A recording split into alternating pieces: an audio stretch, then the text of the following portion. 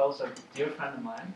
Um, we met going to college together back in University of In the dormitory freshman year. And then, so that, that friendship lingered I and think it's going. grew and all that. And uh, so went on to get a doctorate in history, and now he's doing great things in uh, Hiroshima as a professor there, Peace Institute. And uh, there you go. There's your intro. And thanks to all you guys for coming out. And uh, and sorry we're starting a little bit late. Uh, but also just to just to continue this opening schmooze fest, uh, I really want to thank Brian Johnson and Julie Gordon for anyone who doesn't know them who are hosting this event.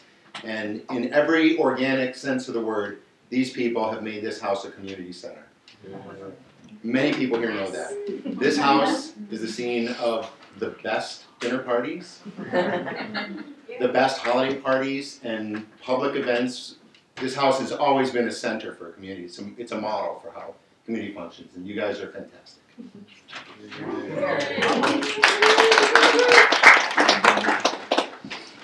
Um, anyways, again, thanks for coming out. Uh, my sense of this is that I want this. Pardon? Well, there's some more There's seats. room up here, There's too. like four more seats. You, you can Up actually put your hand on both sides. Up. I thought that cost extra. So please feel free to move forward. There's comfortable seats even. Even family Not can move forward. because of lower back pain. And feel free to stand there. Um, so my sense of this is really informal. I want to talk about a handful of different things, but I also know there's a variety of people here who also have a lot of knowledge and understanding of some nuclear issues and uh, other things I'll talk about. And so please, everybody, feel free to chime in and uh, don't be reluctant to uh, to join in any way into the conversation. Uh, so my sense of it is informal. But I'll start by telling you, first of all, what I'm not, which is a scientist. Um, uh, I'm a historian, and uh, my PhD is in history of science and technology, but I study culture and uh, I, I study science in society and culture. In a lot of ways, I don't care terribly much about how science works or what's true or not. Um, and I also don't care terribly much about uh, policy aspects of nuclear issues. Um, and so I'm not an expert on nuclear power. I've never studied nuclear power, um, uh, but I have studied the history of uh, the history of the development and especially the history of the perception of nuclear issues, um, primarily in the United States. Um, and so uh, I can't talk about how the plants, the structures of the plants are beyond very, very surface things.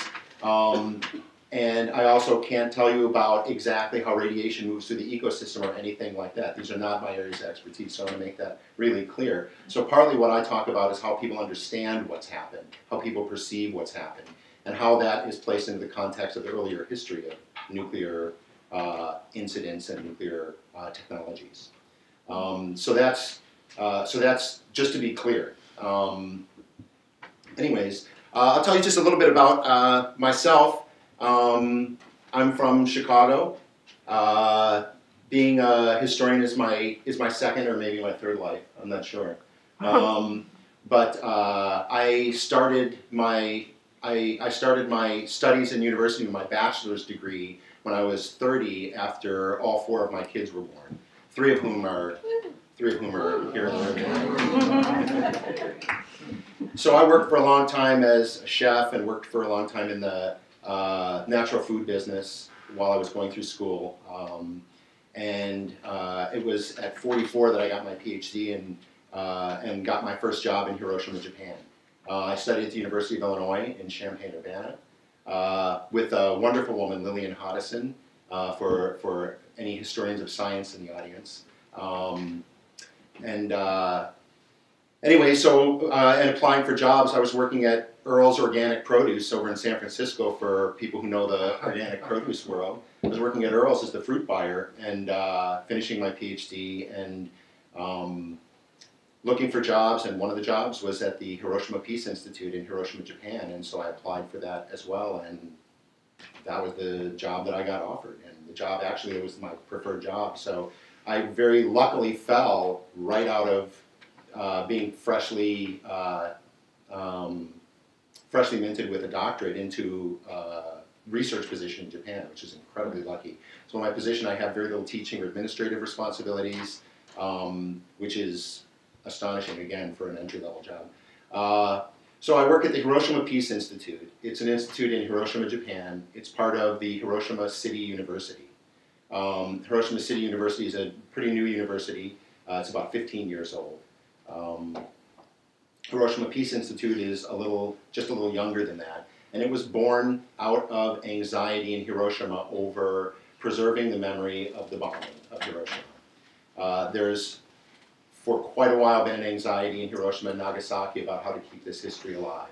And so, at some point, the city council decided to create a peace institute, um, vaguely modeled on the idea of SIPRI, the uh, Stockholm uh, Institute for Peace Research.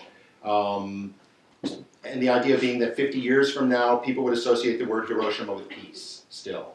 Um, so this was the original vision of the institute, and I always try to remember that I work for the citizens of Hiroshima. They pay my check, and um, and so I have a responsibility to them in my job. Um, my institute is a small institute. It's only 11 scholars. Uh, they're interested in peace in a variety of, of ways. Some of them work on uh, genocide issues. Some of them work on conflict resolution in Korea or in Southeast Asia. Um, some of them work on hibakusha issues. Uh, some of them work, a handful of people work on nuclear issues. Hibakusha, sorry, uh, I'll define. Um, hibakusha is a Japanese word which is a reference to someone who has survived the attack on Hiroshima, the nuclear attacks on Hiroshima and Nagasaki. Literally means explosion affected person. So a hibakusha is a survivor of a nuclear attack. Um, the term is more broadly being used, though, to mean radiation affected people, people who've been exposed to radiation um, outside of the nuclear attack on Japan.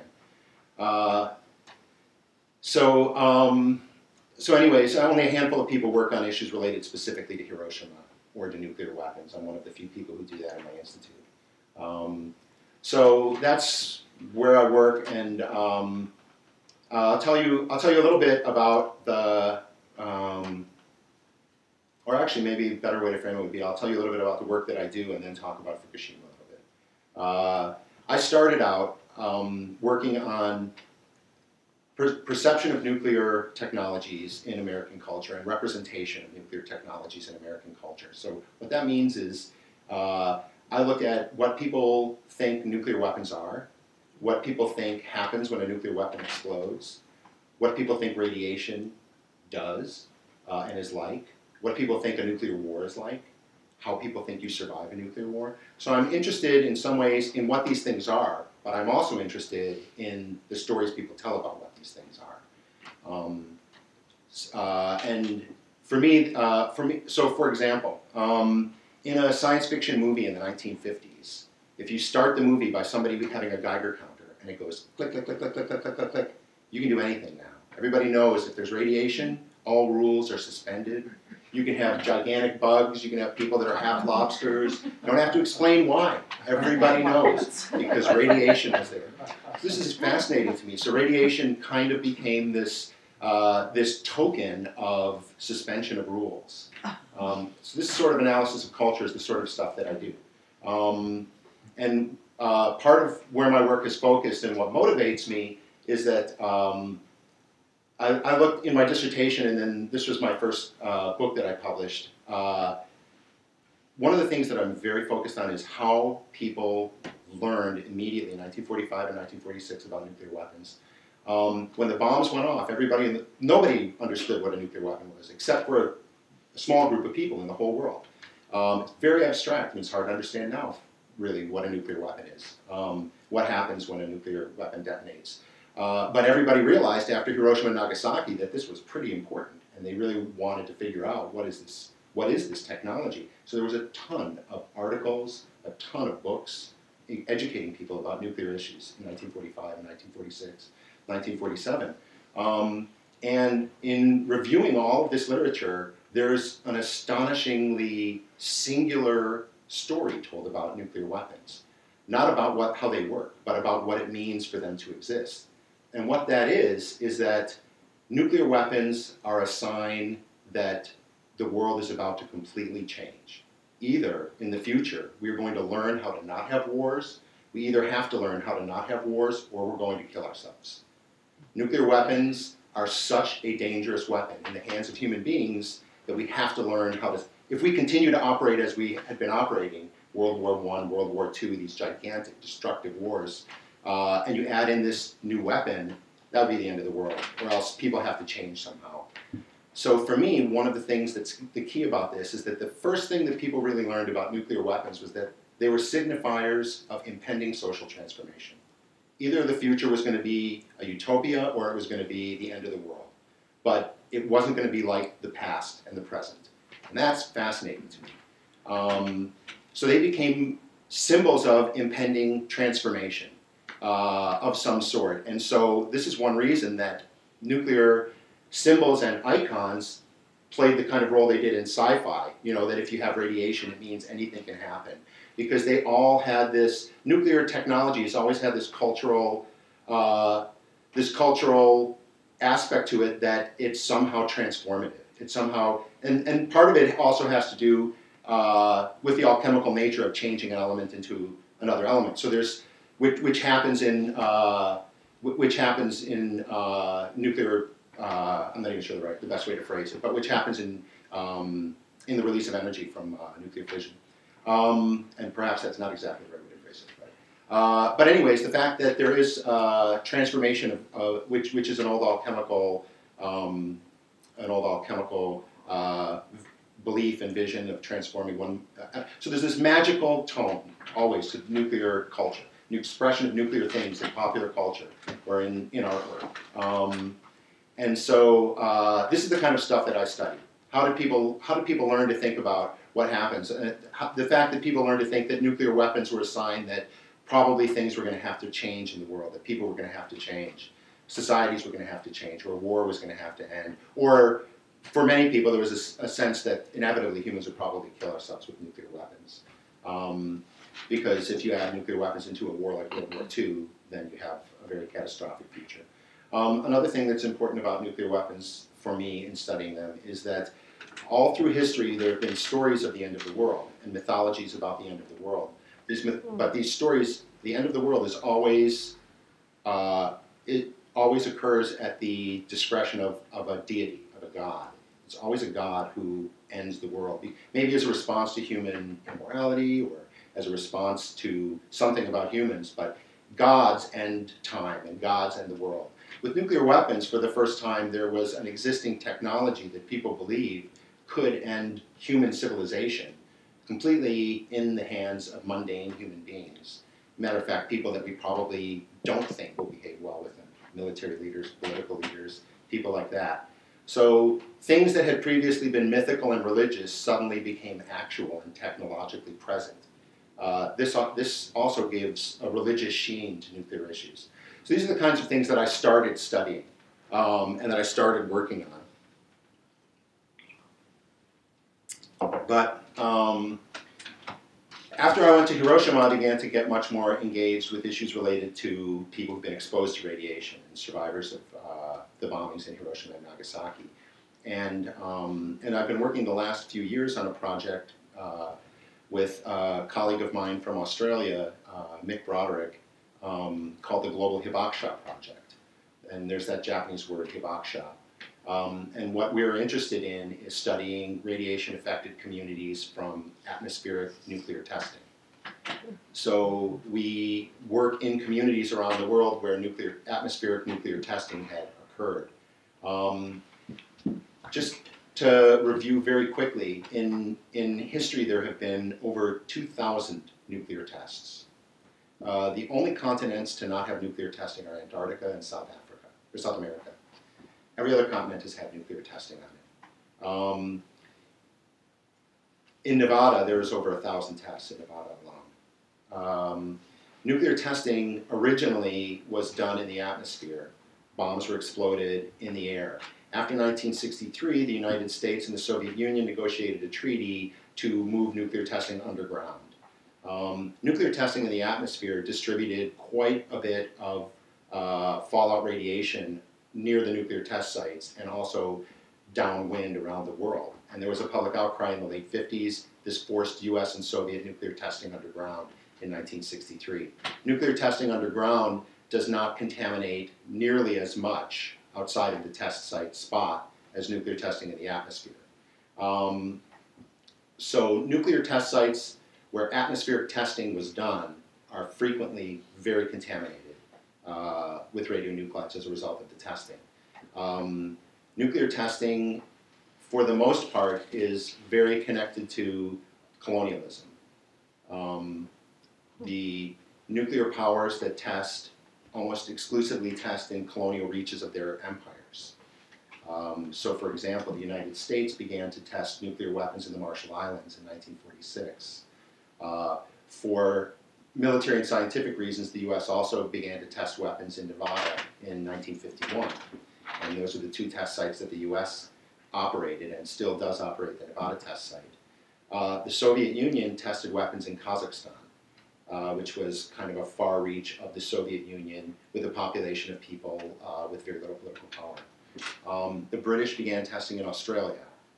Um, the French began testing in Algeria, uh, and then later tested in French Polynesia. Uh, the Chinese tested in far western China, where the Uyghur population is also a minority population with no political rights. So the history of nuclear testing is connected to colonialism. And nuclear testing is done near marginalized populations where people have no political recourse.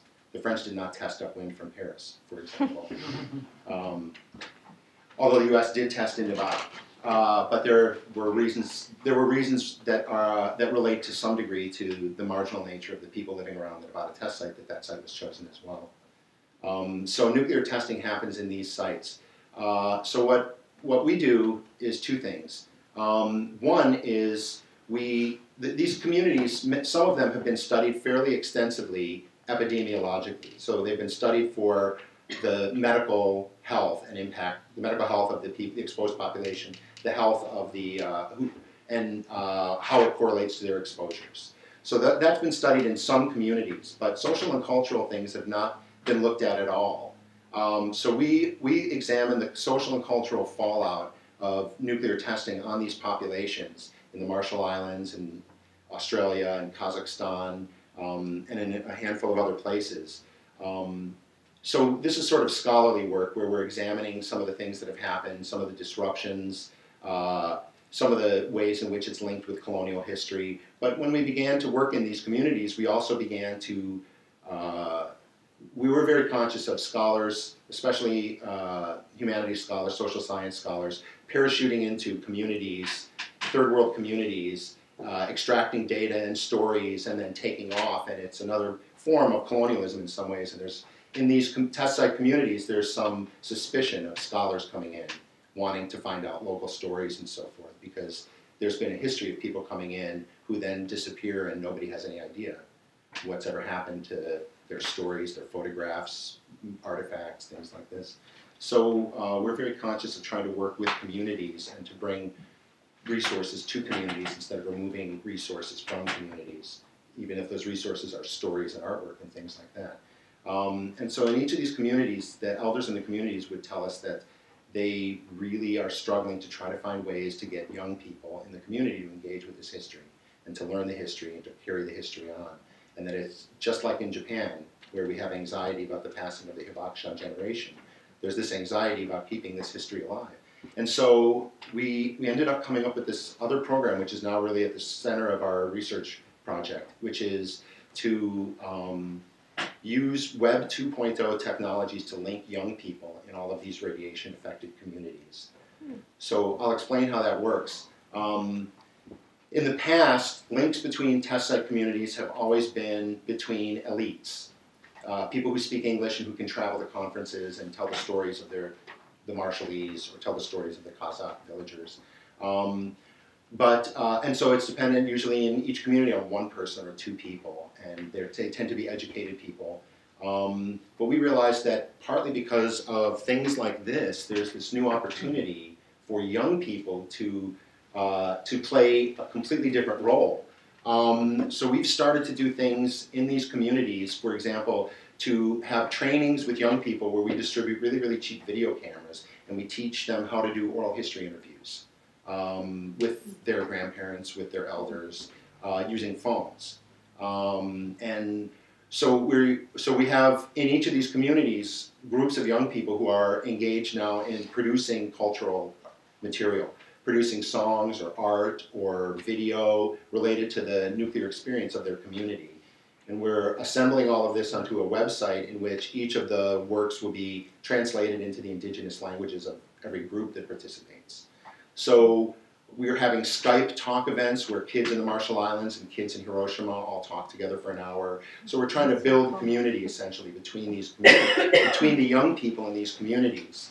Uh, and part of our goal is first of all to engage them with their local history, but also to think that down the line, as they become older and they become more in touch with the needs of their community and uh, the history of their community, that they will have resources all around the world. They'll have other people. And uh, right now, these communities are very isolated, uh, so we are trying to link them together, basically.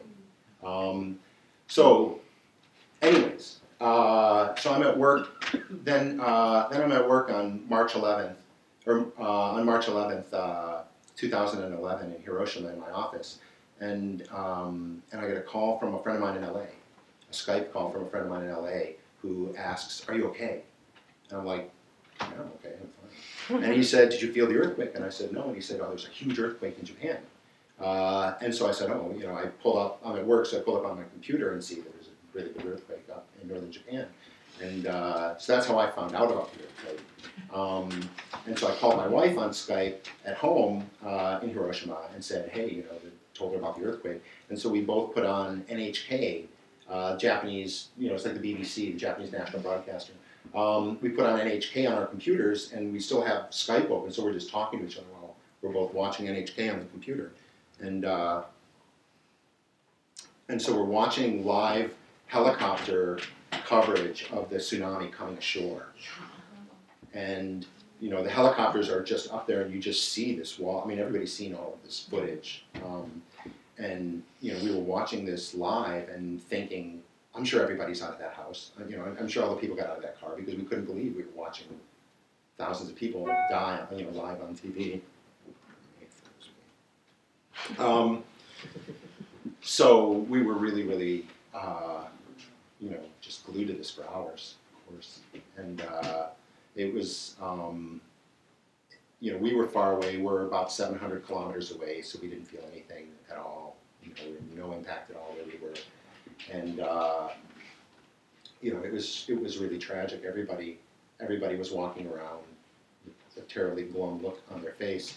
I, I, I want to tell you a little bit about just how this happened for me personally, um, to start to talk about Fukushima. But uh, um, then I was on my way home. I was riding my bike home, and I got a phone call uh, from a reporter from Russia Today TV um, that I knew because uh, I had been interviewed on Russia Today TV on August 6th, the anniversary of Hiroshima, in the past. Hello, Lexi. And so I think I might have been the only person in Japan whose phone worked, that they had their number because all the phones were out in northern Japan. Um, so they couldn't reach anybody, and so they called me and uh, asked me if I would go on the air and talk about the reports about problems at the nuclear plants. Um, and so I went home and, uh, and basically tried to gather, continue to gather news about what was going on up north. Uh, and I went on, uh, and I went on Russia Today that night. Uh, and then over the next few days, uh, I, I ended up on, I ended up being interviewed on Russia Today and a few other news things a bunch that first week or two, partly because I got identified as someone in Japan who could talk about nuclear things. Um, but the next few days were uh, were really like living through a nightmare for me because I'm a nuclear paranoiac. That's how I got into this business. And I and so of course I have these paranoid fantasies of a nuclear meltdown. I just didn't think of three nuclear meltdowns. I just didn't think big enough. Um, and so for me, it was like I was living in my nightmares, except everybody else was there too. that was really scary, the fact that everybody else was in the nightmare. Um, but uh, over the next couple days, uh, the plants were exploding one after another, um, and uh, it was it was incredibly tense time in Japan. But for are, are there many people here who don't know about exactly what happened at the plants? Do you want me to talk a little bit about what happened at the plants? Okay. Yes, please. Um, uh, there's there's a little bit of controversy about what happened at the plants, um, but the the earthquake was a nine point earthquake. It was a massive earthquake. It shook for minutes violently, and the vi- more violent parts were after it started, not like the first shakes, and uh, um, just had to be horrifying for people, just utterly horrifying. Um, Forty-five minutes to an hour later, the tsunami came ashore at the plants. Uh, there are a lot. There's a lot of evidence that the plant at, at Fukushima there are six. There's Fukushima one and Fukushima two. Fukushima two is not unimportant for this story. Fukushima one, there are six nuclear power plants. There are four nuclear power plants essentially down at ground level, and two nuclear power plants on a hill.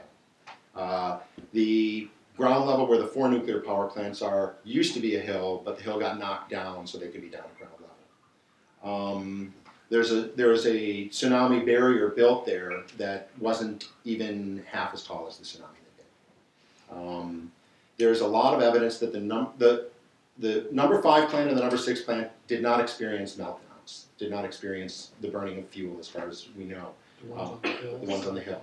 The four on the ground, three of them were operating. The fourth one was not operating. It was shut down for refueling. Um, the three that were operating on the ground all had full meltdowns. The fourth one had a massive explosion from a fire in the spent fuel pool, which I'll explain in a minute. Um, but uh, the number one plant, the first plant, uh, there's a lot of evidence that it was melting down before the tsunami. Um, there's a strong effort by the Japanese government and by TEPCO to insist that the tsunamis caused the meltdown. But there's a lot of evidence that the earthquake actually caused the meltdown. Um, uh, of, of which I can direct people to different articles that discuss workers talking about some of the things that were happening in the plant, pipes bursting, uh, all kinds of things going on, if, which one could imagine from a nine-point earthquake. Um, and so, uh, anyways, uh, the plants the plants all started to uh, what what happened was first of all the uh, everything got shook up by the by the earthquake of course. So all kinds of things were walls pulling apart from other walls and things there was a lot of damage done. Then the extremely large tsunami then flooded the plant. Um, the one of the key problems for the plant is that the backup the just like in almost all of northern Japan the power went out when the tsunami came, when the earthquake and tsunami hit, all the power lines, a lot of them came down. The backup power for the nuclear power plant, for the reactor, uh, the backup generators in Fukushima were in the basement of the plant. So when the tsunami hit, they were completely inundated. So they were removed. Um, so what happens is if you don't have electrical supply to a nuclear power plant, you cannot cool the fuel, and the fuel will heat up and melt. Um, and so the struggle in this situation is to continue to give power to the plant, power to the cooling system of the plant. So the power was cut. Uh, the backup power is the, the primary backup power, there's batteries. The primary backup power past the batteries is these generators. The generators were then lost. So once the backup battery power was out in each reactor, the temperature started to rise and the fuel melts. Um, uh, and I don't know the techna- the uh, um, I don't know the technology or the reactions well enough to talk about why hydrogen hydrogen vented out and exploded, but uh, but this uh, was partly how the explosions happened was hydrogen explosions. Um, meanwhile, the fuel has melted and gone down to the very bottom of the reactor vessel, and there's some belief that some of the fuel has melted through uh, or gone through vents uh, at the bottom of the reactors.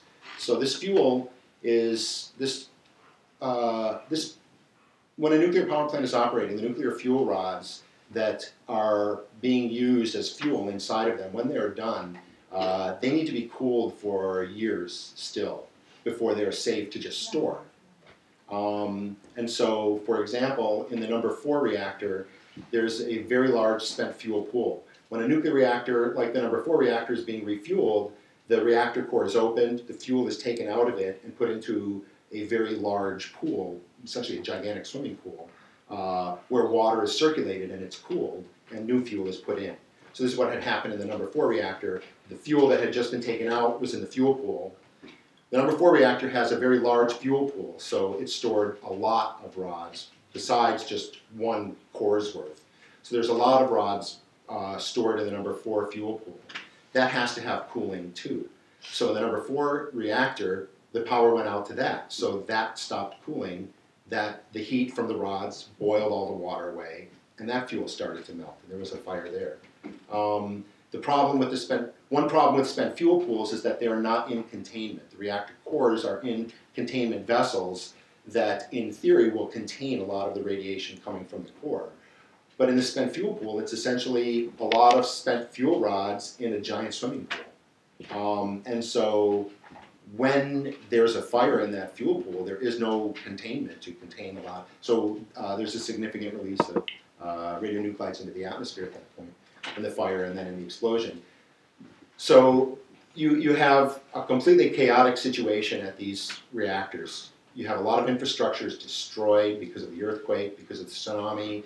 Um, at one point, at one point, a lot of information has come out about insane things that happened while this was all going on. TEPCO, when the number four fuel pool was on fire, at one point, th- this is now we now have video of the TEPCO video conferences during the first uh, days of the um, of the disaster, and one person saying that well we have to do something about the fire in the number four fuel pool, and someone else says can we call the fire department? I mean, is that technically doing something? So they called the fire. They called the fire department, who refused to come put out the fire in the number four fuel pool um, because of the danger to the firemen. Um, so this is so this is how this tragedy started. Um, and that is what it is, and it's just terrible. Uh, but my my own place in all of this is looking at how it affects the people in those communities. Um, I'm, uh, as I say, I'm not an epidemiologist, so I can't talk about how it affects their health. Uh, I, I, can talk a little bit about that, not with any expertise. Um, but I can talk about how it's disrupted um, these communities and disrupted the country and disrupted, uh, and even in some cases, disrupted families. Uh, for me, I've talked to people who are exposed to radiation, usually when they were exposed to it 40 or 50 years ago. And they're looking back on their lives from exposure that happened from nuclear testing in the 50s or something like that. Um, and so uh, I don't talk. I have not talked to a lot of people exposed to radiation who were just exposed to radiation. So uh, you know, I'm a historian, and so in Fukushima, it's very easy for me, having talked and done a lot of work in with hibakusha communities, to see this large group of people, hundreds of thousands of people, at the beginning of this journey that I typically hear about when people are telling me when they're at the end of this journey. And it's heartbreaking.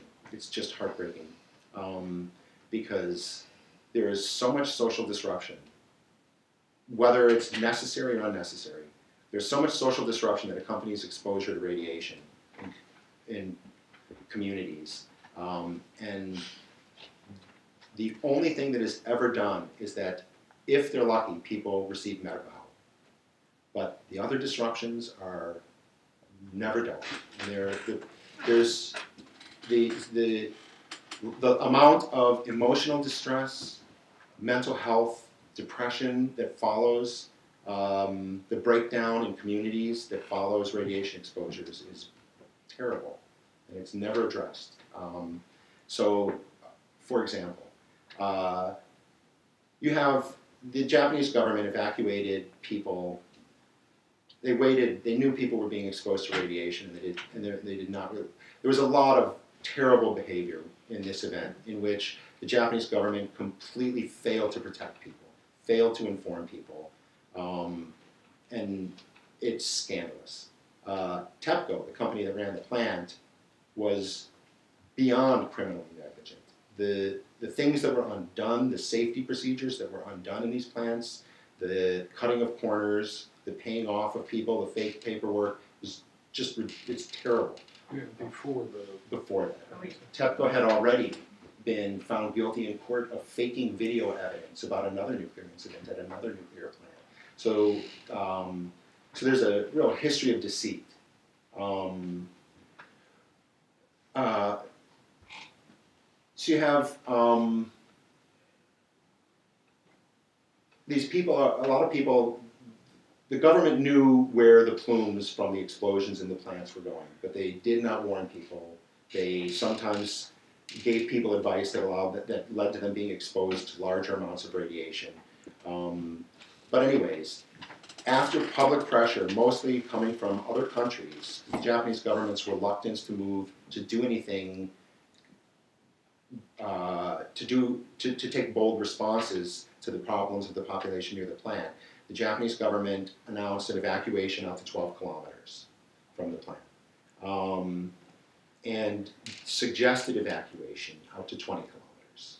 Um, within a few days, the Soviets had evacuated up to 30 kilometers at Chernobyl and bust everybody out. Uh, Soviets did plenty of things wrong, but they also did plenty of things better than the Japanese government did, uh, which is surprising. Um, but anyways, uh, one of the next things that they did, because be, uh, essentially uh, the, they they there's a legal permissible amount of radiation that people can be exposed to.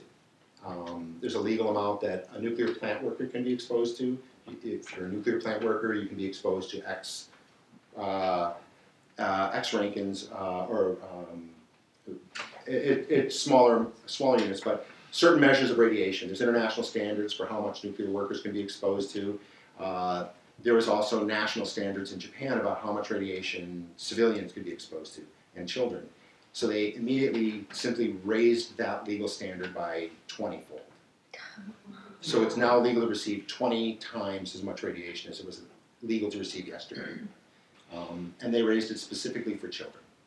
Uh, and that really infuriated people, a lot of people in Japan, um, because it appeared, and it certainly continues to appear, that the priority was not protecting children, but that the priority was simply making legal what was being done. Uh, the permissible level was raised because they were exposed to it, so it's now legal. Um, so there, uh, from the beginning, I would say that the Japanese government has managed this almost entirely as a public relations issue, and not uh, and not nearly as much as a public health issue um, or as an industrial uh, disaster. Uh, they uh, they worked extremely hard to keep the word meltdown out of the press. Uh, they knew that the three plants had melted down in the first few days of the disaster.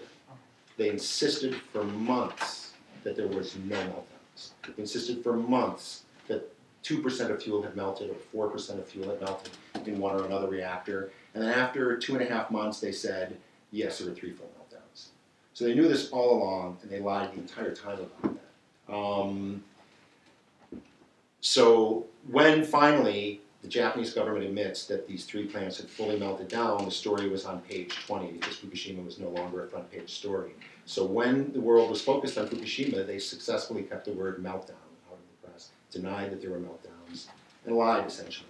Um, so they've been primarily managing this both fiscally and from a public relations point of view. Um, there is, a I know there's this very strong effort under, underway by the Japanese government to uh, sell food from northern Japan uh, as safe and radiation free. It's a huge effort in Japan. Everywhere in the stores, there's support Fukushima, support the farmers, you know, and uh, but nobody buys the food. Nobody wants to buy the food. Um, but I've met students who have foreign students who've been brought to Japan by the Japanese government on a six-month program where they pay for everything, including haircuts, parties, everything. And once a month, they're brought to Fukushima and given all these lectures about how safe the food is. Um, so the Japanese government, uh, immediately after this happened, um, all of the nuclear power plants, not immediately, but in the next few weeks, all the nuclear power plants in Japan got turned off. Um, I think there's 52 nuclear power plants in Japan, uh, although 48 because four of them exploded. Um, so all of those got turned off in the next few weeks. Partly under a program where the government said that it needed to conduct stress tests to determine that these plants were safe and that they were not on active faults and so forth. Um, there was virtually nothing done. It, was a classic kind of let's close them and say we're going to have an inspection, and then six months later, let's say, well, looks like the inspection was great, and reopen them. Um, the, there, every community where these nuclear power plants are located, there's intense opposition to reopening these nuclear power plants. Um, the Japanese government will reopen them. They will try to reopen them all. Uh, they, it, it's entirely an economic thing for the Japanese government. First of all, uh, Japan has got no fossil fuels, so we have to import our energy, or that's what we believe. Um, and so, uh, right now, without the power plants running, we're importing coal and gas, and there's no hitches in electrical availability in Japan at all. Um, but that's all imported power, and that's all somebody else's profit, first of all. Um, uh, second of all, uh, I would say that if you if you own uh, if you own a football team and you pay hundred million dollars for a star player, and your star player is playing very badly, you're still putting that star player in the game because you're paying hundred thousand hundred million dollars to them. Japanese utilities have built these plants; they've invested a phenomenal amount of money in them. They're not going to walk away from them. It's too big an investment to just say, you know what, we don't think they're safe anymore. Um, it, it would be you know, somewhat equivalent to a sports team saying, we're just going to scrap all of our starters and just hire some new guys. Um, it's there.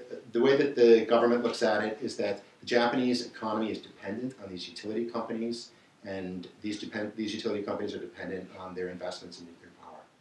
Uh, and that's entire. That's all. That's all we need to see. That's so they they will try to reopen them. There will be a lot of community opposition. Um, but to get back to the people in northern Japan. Uh, these are people who now largely feel that for decades they were lied to.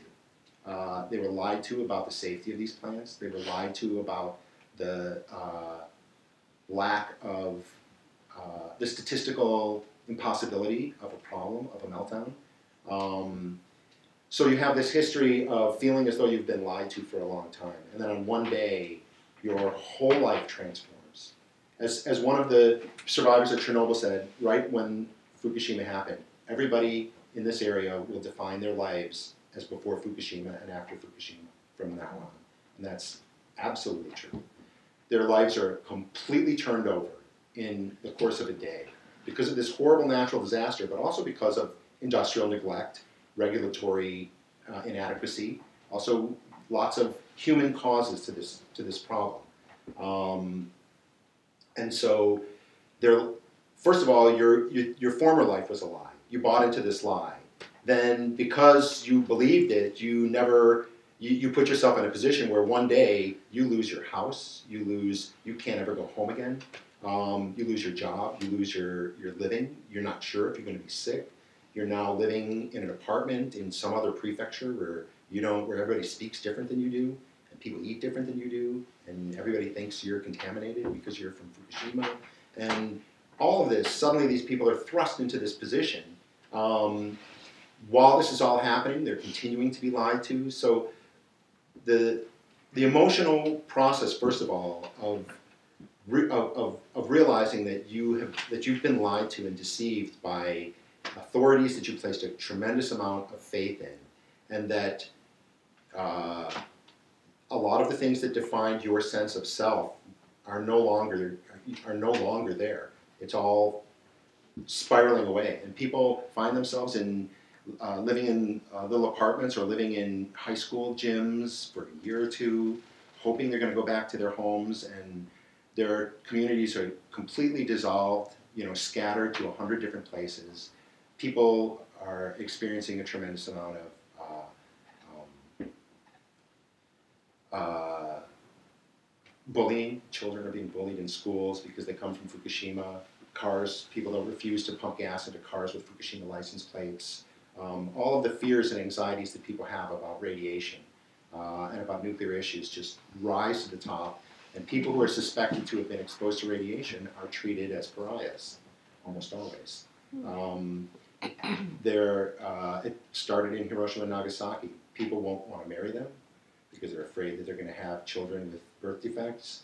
Uh, people won't hire them because they'll be afraid that they'll be sick more often than other workers. There's all of these subtle levels of discrimination that just will add up in these people's lives. But the main thing is that their families and their communities are scattered. Um, a lot of people in this area have these. This is a really old traditional farming and fishing area. And a lot of people have been on the land for generations, as far back as anyone knows, on the same land. Um, and that creates a real sense of identity, a real sense of self.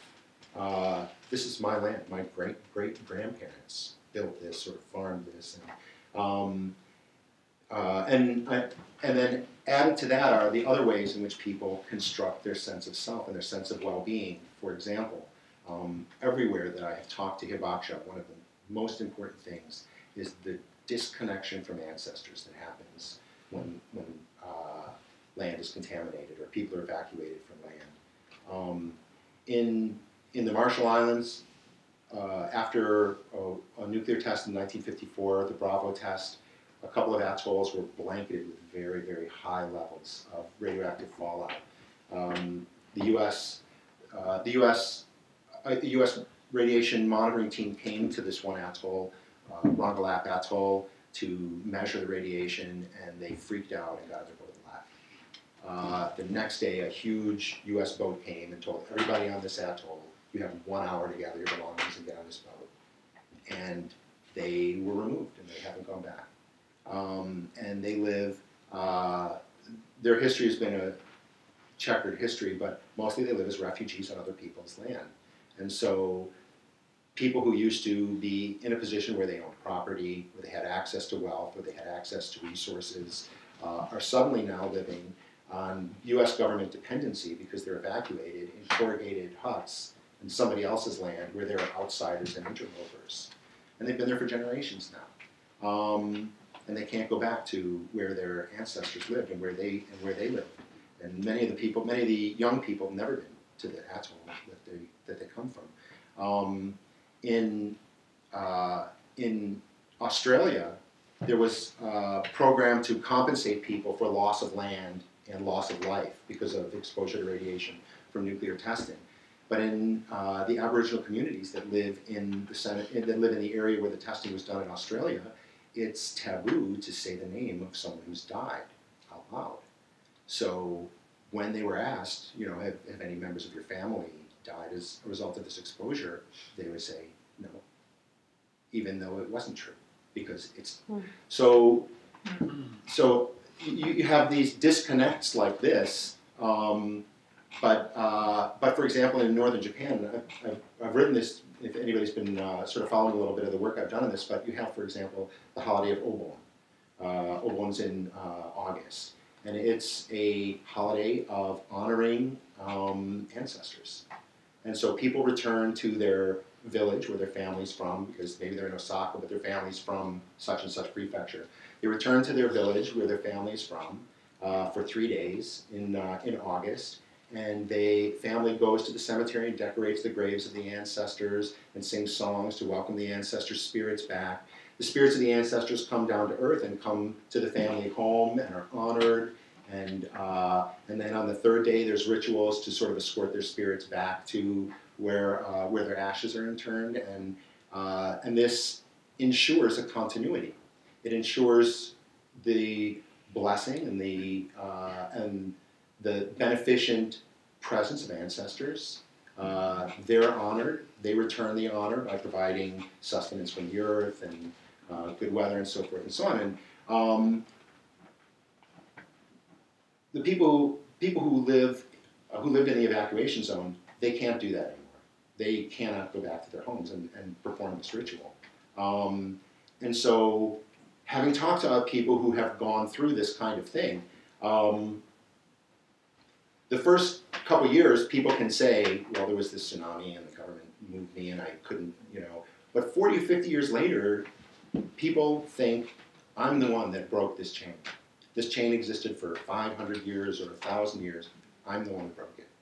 And uh, people really have a lot of emotional depression because of the breakdown of traditions. And, uh, and this almost always follows in the wake of communities being disrupted because land is contaminated And uh, so this will be happening. This is happening in northern Japan right now, um, and it's and there there are no organized efforts to try to alleviate these kinds of social distresses. Um, but uh, in in in terms, because I know everybody's interested in it, but in terms of the reactors in Fukushima, um, these nuclear incidents, we all know, as, as one scholar said, we all know when they start, but nobody knows when they end because they don't end. Uh, the fuel in Chernobyl is still needs to be dealt with. The, this will be needing to be dealt with for decades. It will take a long time to cool and contain these melted nuclear cores of these three reactors. Um, in addition, there are very big challenges facing us ahead. Uh, the most, one of the biggest challenges is um, the spent fuel pool in the number four reactor. The spent fuel pool has thousands of nuclear fuel rods in it. So uh, tremendous, way, way more uh, radionuclides than were in the three cores that blew up, are in the spent fuel pool um, of the reactor number four. Because of the explosion that happened First of all, because of the earthquake and the tsunami, and then the explosion that happened in the number four building, the building itself is leaning. And the spent fuel pool is up on the top floor. More bad design. Um, so the spent fuel pool, imagine a giant swimming pool big enough to hold a thousand nuclear fuel rods. Imagine the weight of that water, of how much water that is. Uh, up at the fourth or fifth floor, I think it's the fifth floor of a building that is now leaning on somewhat battered land. They've got water back in there. Yes, they have to conti- they have to continually feed water into that, yes. Um, so now it's being cooled, uh, because it has to still be cooled. Um, but they're, Yeah. Yeah. Um, what's the size of nuclear fuel rod? I have no idea. nuclear fuel rod, that's a good question. Um, nuclear fuel rod, uh, and this would just be an estimate, but, um, it's probably about this much around and, uh, perhaps as long as this room. That's only thousands.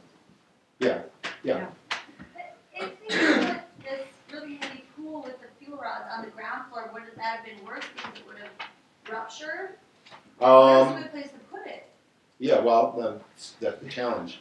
There's not a good place to put it. Um, yeah, I, that probably could be true too, but I think to put it up extremely high is not necessarily a good idea either. Yeah, Um, they're put up high because when they unload the reactors, they do it from the top. yeah, So take they it out. Unload it, and it's the shortest distance to have a, have a, a loose rod, is if you just pick it up and put it back down. So that's why they're up at that, that height. Right, And the risk now is, one is if we lose water, but then the other is future earthquakes. absolutely, Is because that building is not stable. absolutely, yeah. And there's real concern now that the, all the concrete is starting to There's cracks in the walls. it's losing its strength and the steel's losing its strength. And then with repeated earthquakes, if that pool ever goes over, If that pool ever goes over, it could be more dire than the original incident. much more. Um, so there's a lot of real challenges. There's there's because of the need to continually cool the corium, the core of the plants that's melted, uh, and because of the fact that it's not in an, it's not in you know it's just down at the bottom of the reactor vessel or in the some of the spaces below the reactor vessel. Um, a lot of that water just runs off, um, and so that just enters into the groundwater. Um, so Another, one other thing, uh, one other thing that I wanted to mention about it is that um, there's a lot of, be, because of the nature, because of the different kinds of forms of uh, that radiation takes, it's easy for the industry to say things that uh, that mask some of the troubles. So, for example, um, uh, the the primary danger immediately is uh, is radiation in the form of what's called gamma radiation gamma radiation can go through virtually anything, really anything. Uh, it's like an X-ray, you could imagine it. Uh, so gamma radiation can it can go through lead, but it's just filtered by lead. Um, gamma radiation is close to the nuclear source. So, for example, when the uh, when the uh, plants melted down and had explosion, there would be some amount of gamma radiation close to the actual plants them, um, cell, themselves. Uh, there's several different several different forms, but I'll also mention alpha emitting particles, which is a different kind of form that radiation can exist in, which is uh, which is an iodized particle. These cannot go through really anything, so it can't go through paper, can't go through skin. They're dangerous to human beings when they're internalized into the body. So. Um, I, I mean, a really, uh, and please excuse me, Saul, but a, a terrible way to look at it is in a sense that gamma radiation is sort of like just waves, and alpha radiation is kind of like tiny particles. Um, uh, but the alpha, the alpha emitting particles will give off some gamma radiation. Um, what happened at Fukushima is that in the explosions, a lot of material goes up into that cloud and then comes down uh, with either precipitation or just comes down because of its weight in the air.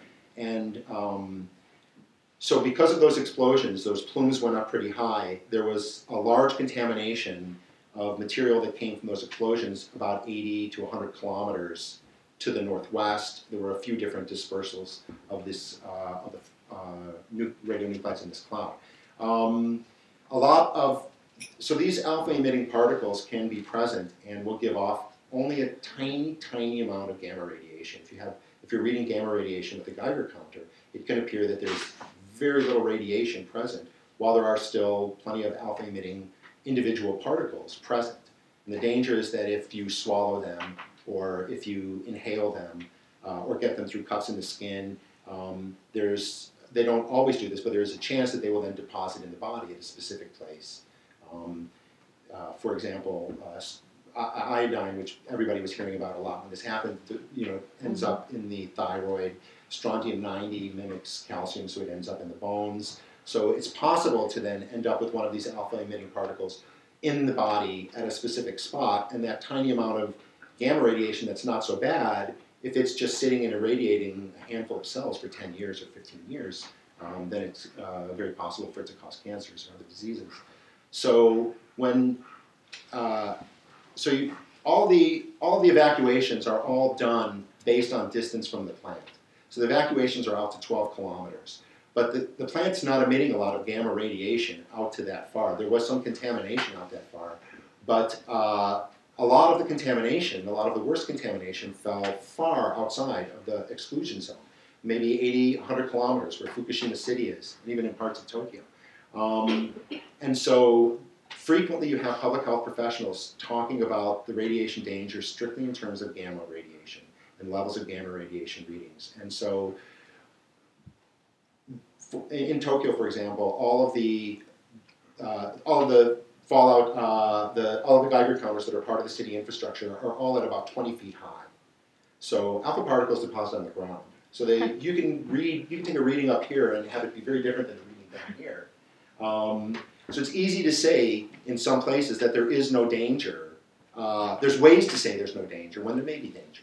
And so it's a very We don't have, the, the data doesn't show it. Yes. Um, and so, or, or you can have, or you'll have sometimes people in the industry will say things like, X number of people died in the tsunami, but nobody has died from the nuclear power plants. Well, it doesn't kill people like immediately like a tsunami does, and people know that. And so, it's a the, the, the largest toll at Chernobyl, the, the worst health toll at Chernobyl was on the children of people who were infants or toddlers at the time of their exposures in Chernobyl. So these things take a while to to present themselves. To, so that public health impact of these exposures, we won't know them really for 20 or 30 years. Uh, so it's ridiculous to make declarations about them like it's safe or it's this or it's that. Um, but it's easy to do, and it's easy to do and not be lying. So uh, so this happens a lot. Um, yeah. Listen, growing up in, I grew up in Japan and the friends that parents worked with the atom bomb casualty commission. Right. And what they pointed out was that it's all about percentages. It's very hard to say this Yeah. thyroid cancer came from this. Absolutely. It's just that, like, you know, thirty percent of these people had it, whereas the general population has two percent, but we don't know about yours. Yeah. Exactly. You know, so it's, it's very difficult to tell what the damage. Exactly, and, th- and that's especially true of people whose exposures were from alpha emitting particles, where it's uncertain what their exposure really was. Uh, people who people who had lar- like in, in Hiroshima, who had large amounts of exposure to gamma radiation, their health would deteriorate much more quickly, and it was easier to ascribe causation. But uh, yeah, absolutely. Um, Uh, so, yeah, so when you talk about, you know, culture and disruption and, you know, all the mental health issues and things, you know, how do you distinguish, if you can at all even, between what's happened from the Fukushima meltdown and what's happened from the tsunami where, you know, which was sort of tremendously traumatic Yeah. intense event. So are you, are you trying to figure that out in any way or, I mean, I. well, I'm not working on Fukushima. Right. I, I work in other places, so I'm not really working Oh, on there in terms of my own work. Um, it's certainly true that people were completely traumatized. Everything about it. If people who were far away, who experienced that earthquake, were traumatized. I was traumatized just watching on watching that tsunami come uh, come onto land. Um, but for example, there are a lot of people who may be experiencing. There, there's a lot of, uh, especially from the nuclear power industry. There's a word that they use called radiophobia which is that people have an unnatural fear of nuclear things, which is probably true. But uh, but they also have a natural fear of nuclear things. Um, so I mean, part of why it's unnatural is because we don't understand it enough. You know, uh, most people don't understand it enough. But um, so frequently, there's a lot of people. There's been a lot of stories in the press in Japan that uh, there was no health impact from exposures to radiation. That the problem is anxiety. All of these people, their health problems are because of anxiety. That they're just believing crazy things, or they're worried, or they're unduly not believing what their what authorities are telling them. And uh, in particular cases, that may well be true, but that doesn't excuse the fact that these people have had their lives upended. And if if they're experiencing uh, physical health problems because they're emotionally distraught because their lives have been upended, that's legitimate too. And even if it's not because of exposure to radiation, they're still victims in this. So, um, so there's a way of blaming the victim, which happens a lot in. It's easy to do in radiation-exposed cases because people are uncertain. What, how much was I exposed to? What problems will I develop? So, because of that uncertainty, it's very easy. And this happens. There was a whole range of articles. You watch in March. There will be again. There's a whole range of articles on the anniversary. Uh, it's the only time the press talks about Fukushima. So, because that's the time when the Fukushima stories will be out there, that day there will be all of these op-eds about how nuclear power is not dangerous and talking about how nobody died in fukushima and that it's all about anxiety and the nuclear the people representing the interests of the nuclear power industry will be boldly making that statement that all the problems are because of anxiety um, and as i say even if that's true that doesn't excuse the, the fact that this was done to these people even if it is imaginary um, either, you know what's not imaginary is their lives were upended that's not imaginary. Um, so, Pete, you had Yeah, I was. I'm sort of going back to the very beginning of what you were talking about, your own research and the way people tell their stories, and, and the project that you're working on where you're letting people tell their own stories and different kinds of stories, different kinds of storytelling. It seems to me that, I mean, it's, it, there are many, many disasters layered on top of one another in, in what you're telling us, right? Mm-hmm.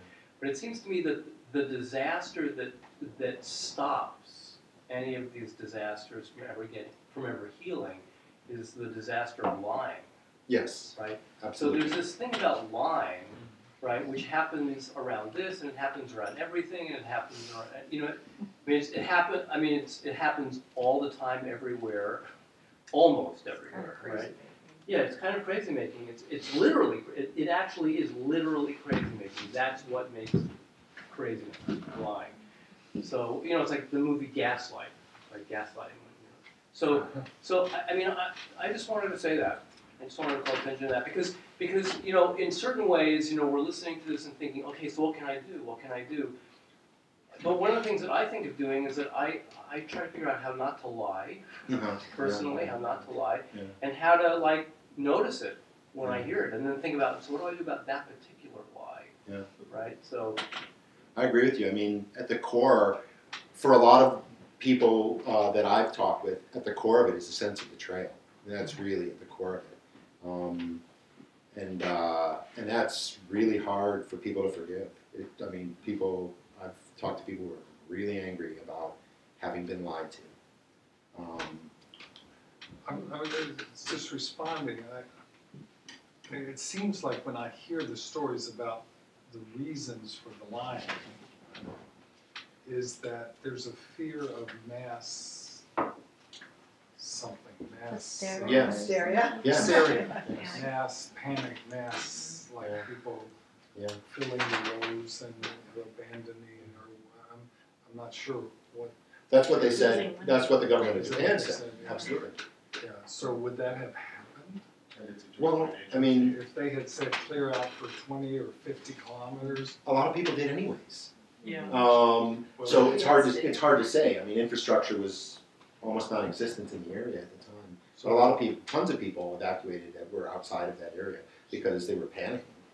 So- And part of the crazy making thing is, is that, you know, the recognition that those communities had been lied to for so long and during, during the events and the months afterwards.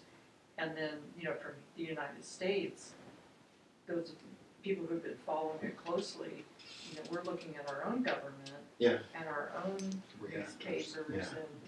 And, and, you know, the press. And it's like, well, okay, we're probably being lied to also. But then how do, how do you as a society, you know, ferret that out and not, not be the, you know, the, the crazy person on the block? You know? There's an option? And, and I'm wondering if, you know, if you're seeing that as part of, as part of, you know, Japan, because I know that they had this whole thing, you know, that, that there was an issue that they might have to have had to um, evacuate Tokyo. Right. And that that would have been like the huge Yeah. panic-inducing Yeah. event. And if you see that there's, there's this undercurrent of the people in Tokyo that are like, well, maybe we should have, and they just weren't telling us, and, Yeah, you know, it's, that we were lied to. it's actually very interesting because we went through a process, I think, in our country in the '60s and the '70s in which people, uh, or or even earlier, lost faith in institutions um, as a result of the Vietnam War, as a result of Watergate, as a variety of contributing factors. Um, in Japan, that had not happened. Uh, that, that, that was my sense. Um, I know there's some Japanese people in the audience, and please feel free to, to jump in, but my sense was that there was generally uh, a sense that large corporations were large because they did things well. Um, and so there was more, there was not yet the notion that politicians are always lying, the media is in the pocket of somebody. We all think that here. Every, that's sort of standard American operating beliefs. Um, but I think my sense is that there's been a real breakdown in the sense that institutions are reliable in Japan because we see it, there's been a lot of talk about the uh, how complicit the media was with all of these nuclear uh, with all of the things that were going wrong in the nuclear industry. The government did not function as a regulator. All of these institutions failed. TEPCO was not really maintaining uh, adequate safety structures and so forth. And so, um, so there's a, it seems like a widespread sense that the things that we all took for granted may or may not be true, and uh, and that can be a real healthy thing in Japan, quite possibly, uh, which has had the same political leadership for essentially since the war. Are they being a bit more vocal in those communities and, It, and it really is. There's a. It's really contentious. It's really contentious now. Um, there's a lot of people that are really angry, and a lot of people that are very vocal. There is a tremendous amount of the leadership in the communities that are demanding accountability and uh, and expressing anger. A lot of leadership is women, which is also a real interesting development. Um, uh, mothers, uh, especially in Fukushima, um, the Fukushima area. But uh, but it really feels that there there's it just feels like it feels a little bit like a sea change, Hmm. and and that's really interesting. Even though uh, there's no political infrastructure at this point to follow through on that. The LDP took power again, um, who had controlled Japan, and briefly didn't control it while the accident happened, and then, blamed it all on the party that wasn't control for a year or two. Political brilliance, but. Uh, but people in the communities where the reactors are are really upset. One of the other issues that I should mention too that's really important in Japan right now is that there's a lot of radioactive debris up in the north. And the central government wants to incinerate it in every prefecture. and just spread it around. Part of it is to spread it around.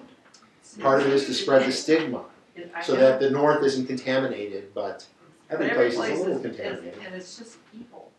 There's And there's other reasons too. I mean, I've heard that uh, that they that there had been this program to build all these incinerators, none of which are operating at 50% capacity. So this is how we solve the problem of an underutilized investment: is we spread this stuff around.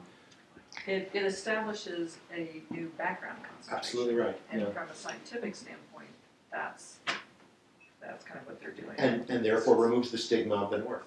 Yeah. So they're trying to. uh, But it exposes the entire population to a higher background level. And so there's there's a lot of opposition to the burning of the debris um, in different prefectures. So there's a lot of fighting still. all So they But move it all into a big pile and set it on fire? No, they have an incinerator. It's in, you know, it's a structure, so, you know, in theory, they say that there won't be any go the contamination, but these were not built to handle nuclear waste, Right. even mild nuclear waste, so there's no. Yeah, you, you get a lot, there's a lot that comes off that, but they're also uh, disposing into harbors. Yeah. So there's, there, not only is it the contaminated water from Fukushima that's going into the oceans, a tremendous amount every day, but they're taking the radioactive, uh, contaminated debris and throwing it in, throwing it in- into harbors and making, you know, breakers, like we did here in the Bay Area, you know, we filled in tremendous amounts of area with rubble and, hmm and debris. Uh, after the nineteen oh six earthquake, most of that ended up as landfill, Ours maybe new land, Nuclearly. Yeah, right. And so that- exposed. That's what they're doing there, but then of course what that does is it puts it down into the water and the, Absolutely. the oceans, we're now seeing the impact in the ocean. So, Yeah, I, I have a, a, a friend of mine from Kazakhstan who's, uh, um, who's an expert in the uptake in plants and animals of radionuclides. Uh, when I asked him what he thought about the situation in Fukushima, he said, it's all about the sea up there. Yeah. It's just so much is going into the sea and, um, and what, and all I can tell you is that nobody knows what that will mean. Yeah. It's a gigantic science experiment we all get to live through because, uh, I mean, there's been there's been a fair amount of radiation in, in the Pacific for nuclear testing in the past, and it showed up in fish all on the entire rim of the ocean. But uh, but the, the entry of such a large amount of radionuclides and over time, um, uh, it's it's shown up in all kinds of fish in Japan already, all kinds of fish and all kinds of seaweed. Uh, but uh, the people I talk to who study that stuff say they have no clue really what's. maybe we'll get some new superheroes. You got Yeah. Um, does the government have any partial ownership in The government now owns TEPCO Oh, because the so it- value fell to zero. So Did it, um, did it have partial good. ownership No, before? It was a private company and they just, did they pay them off so that they didn't have? They well, one of the things, and I, this is this is something important to know as an American. Um, uh, they you know they they ended up selling off all of their assets of any value at all to just these plants, and now the government's taken them over. Um, in America, there is a legal construction for nuclear power plant owners. Um, there's a variety of things to know about nuclear power plants in America. One is that the liability of the plant operator is capped uh, in any accident, no matter how bad it is, at $100 million. So, A hundred So- million dollars? so we, the American citizens, insure nuclear power plant disasters with our treasure. It's like Um, that with oil spills too, isn't No, well, no, it's not. Uh, it's, uh, there's not a set cap, I don't think, to oil Yeah, they, they do, they had to do that because in order to, um, as part of the, to promote the science of the nuclear reactors and the nuclear technology, because it was recognized as being so risky, and these big companies did not want to be liable for it, Mm. but there was, you know, a huge advantage for the government, so the government capped it. So they're not viable business models without public. They're not earning a lot of money. Um, you can also separate uh, when when companies have multiple plants in a location, which is usually almost always the case. You can separate each plant into a separate corporation, so that, for example, um, if you had a comparable, I could say I forget how many are at San Onofre, but uh, but let's just say one of the nuclear facilities here where there's three plants. One plant has a meltdown, kills people, contaminates, puts people out of work, variety, whatever the liability is. The company that owns it can wall it off from the other reactors so that they don't lose those assets. Um, so, in other words, you can have a nuclear plant melt down and you can be liable up to that cap. And your nuclear plant right next to it is a separate company, so You won't. So you can maintain assets. In, um, so there's that. But anyways, one of the last things I want to talk about is just uh, to talk about uh, my own perspective about being against nuclear power. Uh, nuclear power is, I mean, I don't want to make declarative statements like it's insane, but I'll, I'll just make, I'll make I'll make substantive statements that it's insane. Uh, some of the waste from nuclear power plants. I mean, the problem with nuclear power plants when we started building them was that we assumed we would figure out a way to solve the problem of the waste, which we have not. Um, aspects of the nu- of these spent fuel rods, some of uh, some some parts of it remain dangerous to human beings for over hundred thousand years. So they have to be protected away from people, so people don't contact them. For longer than we've had civilization. Longer than we've had, longer, about as long as we've been Homo sapiens. Um, you know, we haven't had agriculture for. I mean, at one point I did some some silly little basic numbers on it that uh, we essentially have to guard this waste for over three thousand generations. Uh, Jesus lived sixty generations ago. Uh, let's see, Buddha lived seventy-eight generations ago. Um, agriculture began 300 generations ago. Um, humans became behaviorally modern about was it 150 generations, so about half the distance we have to get. And we and all of this waste is generated so that we can have electricity for 30 years, 40 years maybe. These power plants, specific power plants Not even a generation. not even a generation. And so you so imagine the cost of this power because of the because what it's going to take to protect this for hundred thousand years. The cost to us as a society. Imagine how valuable this is. How much it really costs, and what do we use it for? We, I mean, in Japan, you can't go ten feet without hitting a vending machine. You know, and there's still a convenience store every two blocks. You know, and so we're, we're wasting this power, uh, just wasting this energy, and the cost to us will be substantial. We would think we should be operating as though it is so valuable and should only be used really intelligently, and that we, we need to conserve it.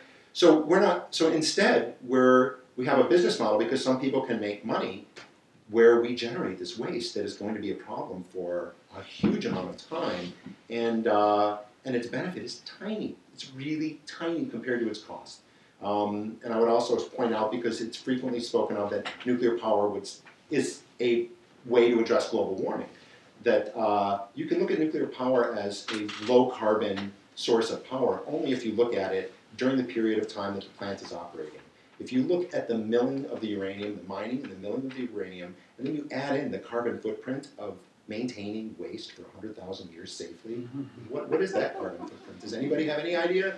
How can you claim nuclear power is, is a green technology when we can't even fathom the costs or the carbon requirement for it? Um, so it, it's just insane to me. It's insane that we generate toxins on this level for mundane uses, for mundane purposes. Um, if we were using it to, I don't even know what, if we were using it for, you know, then you could think maybe it's worth the cost to have this benefit. But we're not using it for benefits. We're It's using hard it to for imagine that. yeah. It's interesting, it's the, the, and part of the thing with the power plants, they put the power plants in these isolated areas.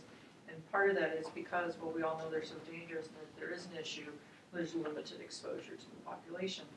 But, um, recently, some of the, the new approach to the power plants is making these, what they're calling portable nuclear plants. Have you heard of these? Yeah.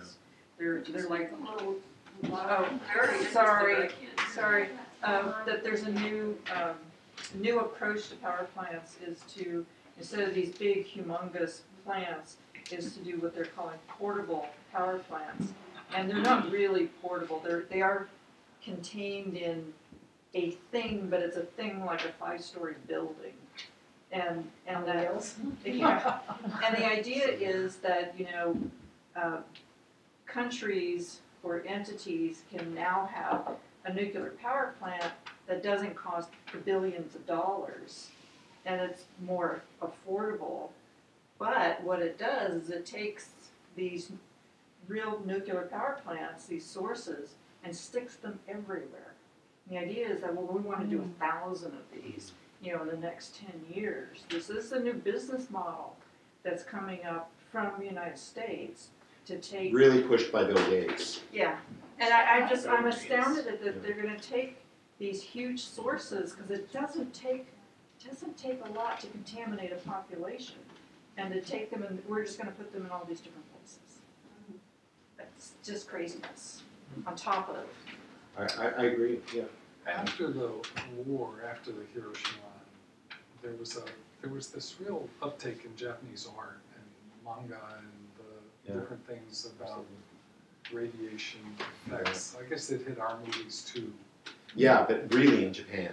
Big time, Japan, Japan. big time. And I'm wondering, uh, after Fukushima, if there's been any of this, uh, There's a has lot it of been taken up into the manga culture or the? A little bit, uh, although I don't read or speak Japanese well enough to be to, to be able to say. I, I've heard that there's a little bit of, of a present in manga, but there's been a lot of art. There's been a whole lot of music and visual art generated, um, and videos. Uh, there's been a lot, a strong artistic response. There's actually, and this is one of the things I'm participating in, but there's a huge push to study how Fukushima happened in social media and society uh, because it was a unique event in which um, there you have this huge crisis. So you have this breaking news moment, and then you have this disinformation around a public health crisis. So there was tons of people, and I'm among them, that was on the internet nonstop at the time trying to gather information, and there was a variety of uh, things that emerged out of that.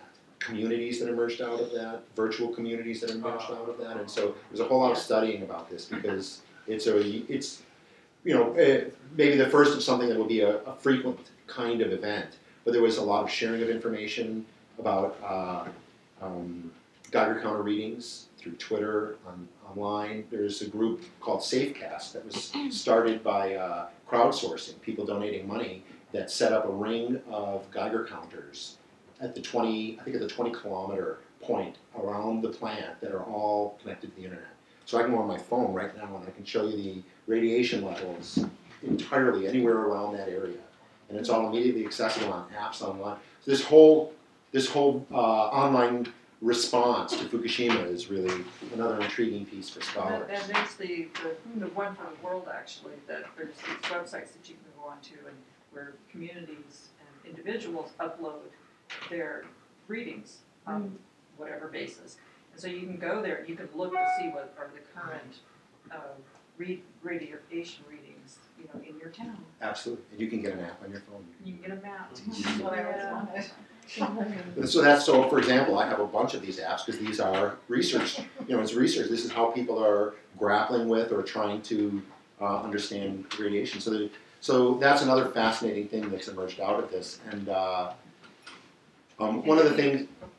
Oh, sorry. It's just if you ever are curious, there's, there are cameras that are always, um, on Fukushima, live cams.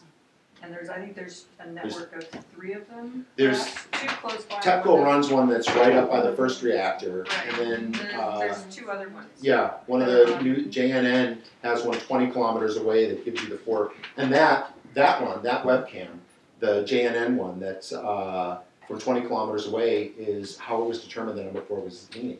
Yeah. Um, Cause they because kept denying it, and, and it's great, cause TEPCO was like doing these, they take the, the, uh, the videos and they would re- redo them.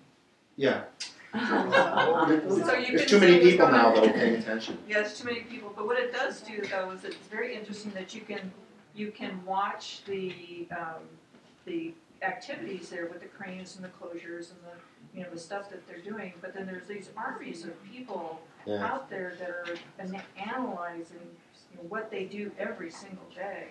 So I just find that interesting that there's a real public focus on making sure at least now we can watch and see what they're doing. To some extent, To some extent, but Yeah. now they're built, now they're covering it. yeah. They're now they're building they're building covers. covers and, on the number four one especially. Right, the so number you one can't one. see it anymore. So what's happened to the, um, people who've worked and gone in and the, you know? can- That's a whole separate tragedy. The uh, people who work there's there's Yeah, there's permanent workers. But in a case like this, and in any in, in cases where uh, there's crises in nuclear power plants, they bring in a ton of temp workers. Um, temp workers. And Who signed up for this before, or they hire them like, They, it, it, it tends to be run by the Yakuza, the Japanese mafia. They tend to basically get, uh, people who, uh, you know, there's, there's a whole, this is a whole separate issue of, uh, who they call the nuclear gypsies in Japan, who are basically like homeless people who just migrate and work at nuclear power plants. One of their incentives is because they're only allowed X exposure, they frequently, when they're working, will take their dosimeters and hide it somewhere so that because once they reach that exposure level, they can't work they lose their income. So they're trying to get higher exposure. They're not trying to get higher exposures, but they're ending up with higher exposures in order to keep the income. So they're not being managed as, for example, a well-trained, health-focused. You know, they're basically people brought in and just shoveled through. So they just pay them for the day and then that's it? I think it, I don't it's a have- day contract. I think it's a longer contract. Yeah, that's uh, so many layers Yeah. of the uh, contract, so that, the like, uh, five layers or seven layers, the bottom of the subcontract. Yeah. Uh, they are really low paid, Yeah. and they yeah. are not really insured for the health. Yes. Right. And then many are also the foreigners, Yes. and then after they work, going back to Indonesia or something, Yeah. we never know. No record. They Yeah. might get sick there, Yeah. right? Absolutely. Thank you. That's exactly right. The degree is different, Mhm. but, um, in the United States, they're called jumpers. Is that so? Uh-huh. And, um, uh, and it's the same principle, the degree is different. Right, Because of. Fukushima, the nuclear gypsies in, Yeah. in Japan, there are more of them, they're Right. more exposed. But once you, if you're a contractor, and once you reach your limit, you will then jump to some other company's nuclear power plant Right. somewhere else. Right. um, Without your, showing your work Mm. history, so Yeah. you know, keep working, so they're called jumpers. Right. Oh, interesting. So what happens, but no, and nobody can really follow what happens to No. that? But there's no incentive to follow it. Yeah. And many people, workers are already uh, came up with the allowance of the Yes. uh, exposure, so they had to leave. Mhm. And we don't know those people. And they, they kept bad records of the workers' names and stuff. And they have to sign that we don't disclose anything Uh huh. And what they work Oh, non-disclosure. No, they have to sign. So secret. Of course they do. Wow. Terrible. Also the uh, the debris, Yeah. uh, incineration, Yeah. uh, burning. Uh, you mentioned once, but uh, Osaka City Yeah. is burning. Uh, uh, well, they test burn and they s- going to do from February, so May, it's May happening. Um, it is uh, uh, people is totally uh, opposed that, but 11 people already uh, arrested Wow. by Osaka City uh, police. Wow. And then uh, six people are still in jail Uh, with no reason. uh-huh. It's just they are uh, expressing the uh, you know, different opposed opinion against the uh, city. Yeah. Please do not burn because it's not healthy. Yeah. Then they were arrested. And so we are very fear that uh, Japan is going back towards Mhm. uh, like a military.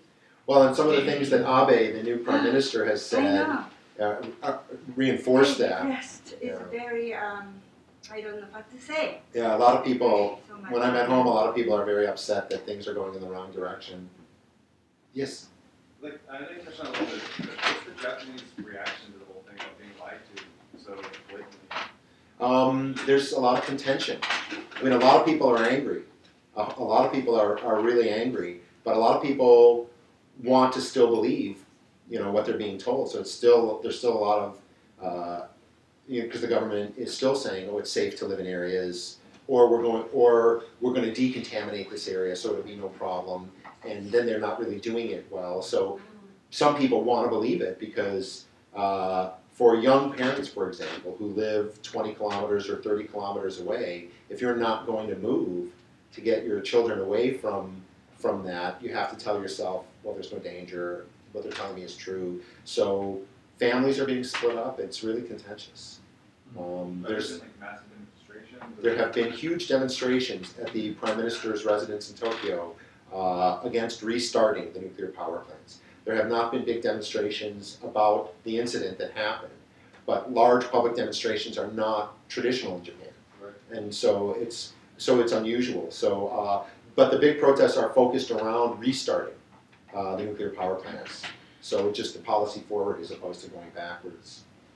Um, and one of the other things that I wanted uh, to mention that uh, Mary Leo was mentioning to me is important to point out, and it's true, is that there's been in Hiroshima and Nagasaki, uh, but in Hiroshima where I live, the Hibakusha groups, the organizations of survivors, have long been supporters of nuclear power. Um, and after Fukushima, many of the groups have shifted their position to oppose nuclear power. Um, there's a lot of reasons that they were pro-nuclear power, uh, and a lot of them are political. For example, uh, the priorities for this community historically have been to pass legislation about uh, health compensation and health care uh, for survivors. And so at one point, uh, they were given incentive to specifically voice support for nuclear power in return for movement for the bill through the diet that they so they're so they've been used some political, exactly and they're used because if they support nuclear power then why should I mean if they can accept it we should so so they've been used in in the past and uh, and so there's a lot of so there's been some uh, meetings and some soul searching and discussion and a lot of the groups are now coming out have come out now against nuclear power and even some have expressed regret at prior positions. Um, uh, and and one of the things that, that I was mentioning when we talked earlier is that it is heartbreaking. I know for some of the hibakusha I know in Hiroshima, a lot of the they're, they wanted, by the end of their lives, they wanted nuclear weapons to be abolished. Um, that's not going to happen.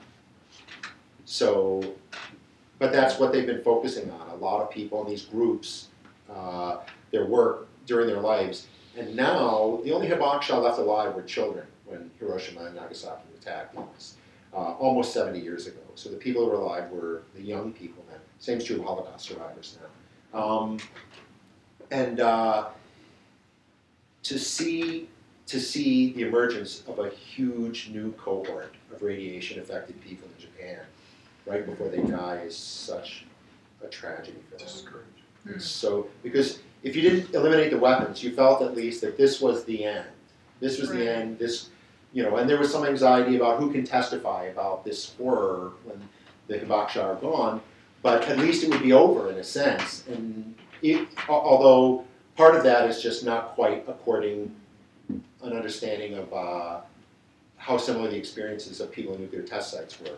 They were not attacked directly, but uh, there's plenty of hibakusha in the world. That was actually one of the, part of the motivation for when we formed the Global Hibakusha Project was to just really emphasize inside Japan the point that well, there's plenty of hibakusha in the world. Tons of people, unfortunately.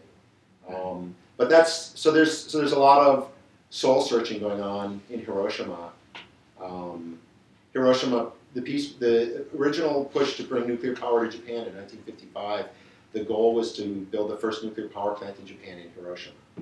For the same reason that we get the hibakusha to support it, because if the people of Hiroshima have a nuclear power plant, it's got to be good. It's got to be safe. And so there was a huge sales push in Hiroshima in 1955 and 1956 to accept nuclear power. Um, so, anyways, uh, if people have questions, I, I usually whenever I talk about really depressing things like this, I, uh, I always like to share one upbeat thing at the end. Which, yeah, Oh, I have a, um, a little bit of an outside off. Please. Um, as somebody who has worked for thirty years on, on nuclear weapons issues, and as, as somebody who born in nineteen fifty-one, um, the stories of the Hibakusha and also the US narrative about Hiroshima, um, you know, I'm part of the Duck and Cover generation, is extremely powerful, meaningful, moving. Um, but I also speak to a lot of young people and try to bring them into the movement to abolish nuclear weapons um, because it is largely. And um, the same images and the same stories um, don't have the same power. Um, they put it together differently. Yeah. They put it together in the context of globalization, and they Yeah. put it together in the context of climate change. Yes. as a comparative analysis. They have their own reasons, but I'm wondering if you have any research or experience or on what your sense is uh, in terms of intergenerational Yeah. um, images Yeah. Uh, that motivate people to join movements to oppose um, nuclear weapons. Um, I mean, that's a really good question, and it's and it's really tough. I think that our generation experienced this history in a way that younger people uh, can't understand. Uh, the, the the fear that came with the Cold War standoff between the U.S. and the Soviet Union, it's hard to explain uh, how much that could preoccupy people or how defeating that could be for people. Um, and so I, I find that young people completely get the entire thing we got when we were young, but they just use the word climate change, whereas we use the word nuclear war. Um, but they have the same same notions, which is the future is dystopic. I don't know how if our children will live, what will future generation. All of the same pieces we all uh, we all internalized as as kids growing up in the duck and cover era. They all have all of those social pieces, but it's not collect, connected to nuclear weapons for them. Um, because in the world that they live, nuclear weapons are, are not a eh, they're not a uh, perceptible threat. Other threats are very vivid and real, and the fact that uh, we know the horrifyingly threatening situation of these weapons on alert status, thousands of you know, um, it is is beyond comprehension, and the and the possibilities of what could happen are beyond comprehension. But there's no context for that. One of the things I would say is that when nuclear testing went underground, it really altered people's uh, experience. Um, one of the things that I argue in my work is that nuclear testing, atmospheric nuclear testing, was a much more intimate experience. It was, first of all, you had visual mushroom clouds present in people's lives. You also had fallout uh, present in people's communities. And so it was, it was a physiological relationship with, with the weapon then. Um, when they went underground, it became really abstract, and I think it's been really hard for a lot of people since then to, uh, to perceive the scale of the threat or the scale of the danger, and it's pretty much impossible to communicate to people, I think. I think you can't, I mean, to, to communicate fully, it's really impossible. Um, and so, unfortunately, just like this event, which has us gathered here, uh, horrible things will make people pay attention to it, and probably nothing else will. I, Um, I've seen with a, a lot of younger groups is that, uh, they, they get their, you know, their moment, their, their turning moment with, uh, some of the films. Uh-huh. Like which ones? The With Threads, uh-huh, sure. uh, Carl Sagan's movie, and then, uh, nineteen eighty-three, A uh, day after. Day After, you know, that, those two are really, really powerful, and I know a number of, of young people that that's when, when they Yeah, had yeah, their moment, yeah. and with the, with nuclear war. I still think most most young people I think don't have any sense that uh, people now are aware of nuclear power, but even still, I think that when it comes to nuclear weapons, you know, it, it's just outside of people's frame of reference today. What, pardon me, I was going to ask you, but there was an announcement today. Was, I had read one article that there was an announcement from the Obama White House of some uh, downscaling. Was that was that anything? Do you know anything about that? Yeah, it's a, a long uh, piece that Jeffrey Smith did, the Center for Public Integrity. Um, in essence, the, the nuclear posture review Yeah. um, started the Obama nuclear posture review, which was um, not enough, a tiny little step. Uh, started a review of um, targeting and implementation, and what the policy should be, and the White House got a little bit trumped by um, a reporter here. Uh, Um, uh, They were considering the idea that um, uh, it would not harm U.S. national security to have few fewer targets yeah, as long as we kept all of the cities and the militarily important ones yeah, and therefore we could have a few fewer long-range strategic um, nuclear weapons and a few fewer reserve nuclear weapons. What most people don't realize is the numbers you hear are all the time are only the ones that are deployed. We have a second arsenal called the reserve arsenal, and a third arsenal of retired weapons that we're not yet deploying. Called the super secret reserve arsenal. And we're still making them, And we are still making them. new ones. And, uh, they're, now they're called modified, but they are severely modified, yes, I would call them new. Um, and, uh, and so that is sort of the import of it. It will be very interesting to see if there's a backlash from this very, very modest, common sense. Oh, of course there will be. Yes, exactly. yeah, I think nuclear weapons are really just outside of people's minds. Um, I, I talk a lot about their cost now, Yeah, because that's something that's salient, but, but the actual moral questions and the actual impact of nuclear war is, is, is very difficult for young well. I, and I've long been arguing that the way to attack the way to attack as anti-nuclear activists is the money, um, because we've been right about the moral question for 70 years. They're not arguing against us. Uh, we're talking to ourselves. But when we talk about money and social priorities, they're vulnerable. That's the way I look at it. Um, yeah. Well, that's a point that, uh, uh, San Onofre, San Onofre's been closed for, um, the whole year Yeah. Essentially. But ratepayers have paid a billion dollars. Yeah. For what? So I mean, I think that's amazing, people would know that. What does that say about nuclear power? Yeah. Right. Yeah. And yeah. Well, this is a hot discussion, but you sounded like you were ready to tell your final. But Oh, said, but But yeah. don't tell it yet, because I, I thought this might be a good time to just mention uh, that we have such great uh, anti-nuclear organizations in the Bay Area. Absolutely. Including Tri-Valley Cares. Tri Valley Cares is Marylia, yes, Fantastic. thank God, she's out there at Livermore. But uh, also on Sunday, the other one that I think is really, is great is Western States Legal Foundation. They're having their thirtieth anniversary. Nice. And Dennis, uh, Dennis Kucinich is Wow. gonna make his first speech since stepping down Wow. from Nice. Congress, and Barbara Lee will be introducing him, and Daniel Ellsberg will be there if he gets on the plane. Oh, is that those flyers there? You- Yes. There's a I've couple got of flyers for them right over here. One for everybody, and, uh, it's just gonna be a great event in Oakland Oh, great. in the afternoon and evening, so, um, another, a chance to hear more and plug in a little bit with what things that you might be able to do that would be within your, your purview.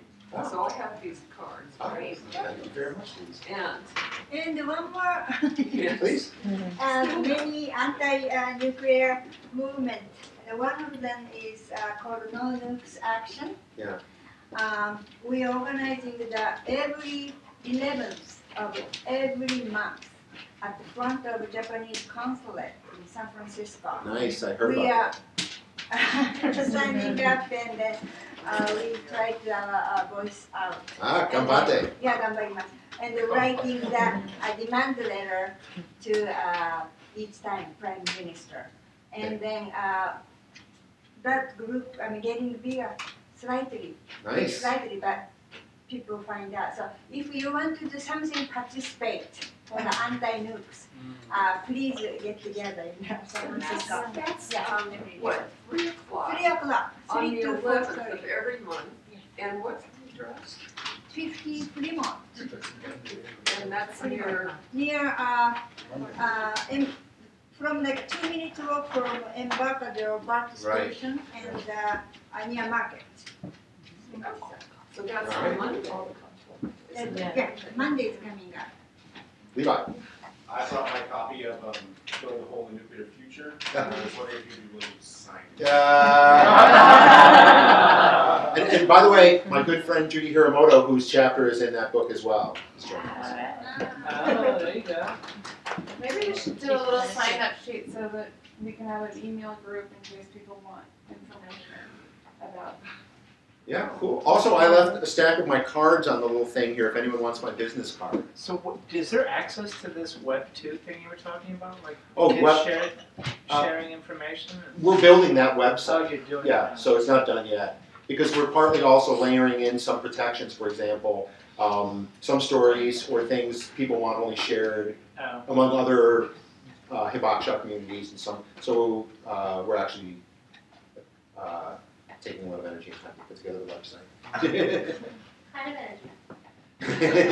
Not nuclear. that, that would be my kid. isn't it? I, I worked one time in Massachusetts for the, as environmental coordinator for Mel King when he was running for Congress. He's Yeah. an African American leader, very wonderful guy.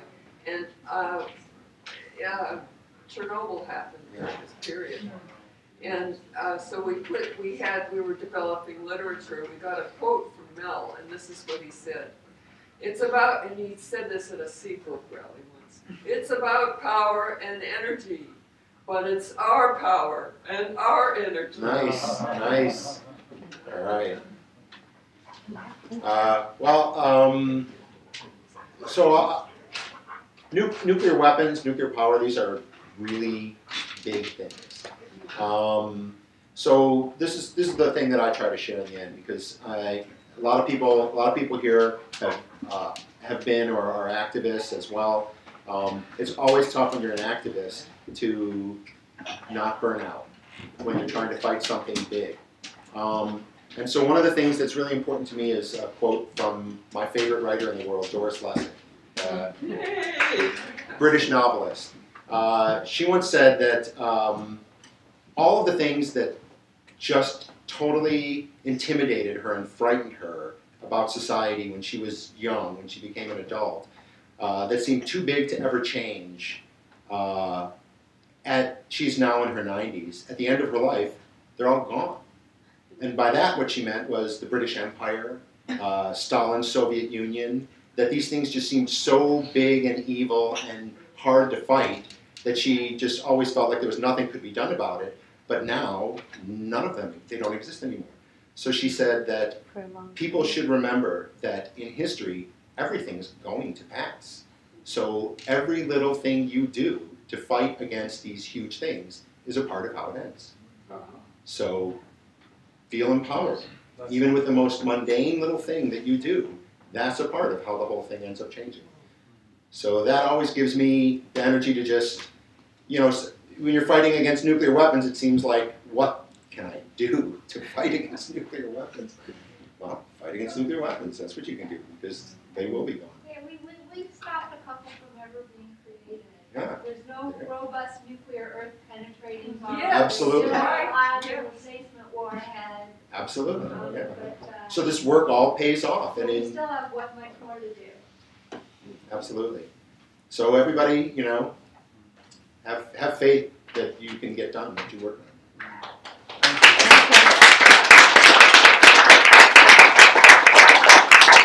And thank you all for coming here, and especially Brian and Julie.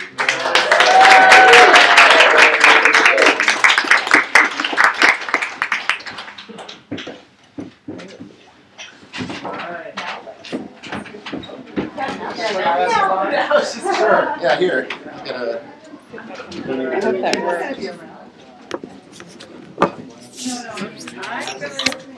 Thank you guys. Good, do you want to-